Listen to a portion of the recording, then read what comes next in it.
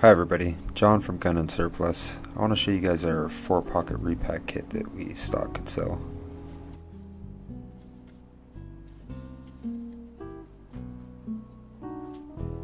These are all once used components. So the stripper clips have probably been used one time, so they probably got a two to three more times that you could use them before the tab would break off. These are the GGG stripper clips. We also have brand new IoT stripper clips.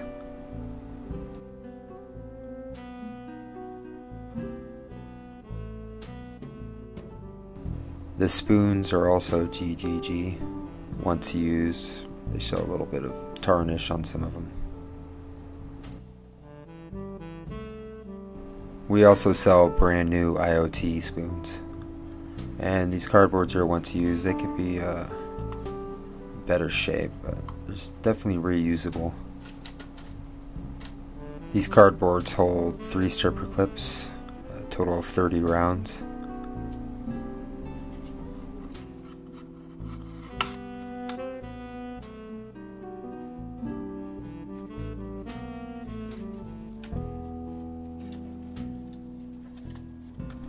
You could use tape or glue to seal the end of the box.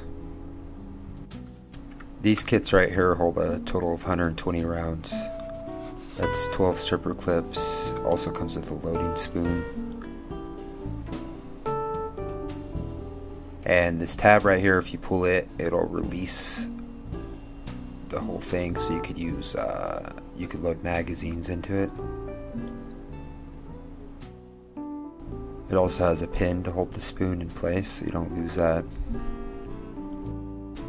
Now if you're not familiar how to use these, most magazines, new magazines will have a notch right there to fit the spoon onto. It's pretty simple really. Just slide the stripper clip with the rounds onto it and push them into the magazine.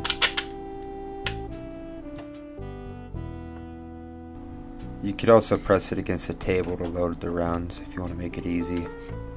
And some people just use their trigger finger.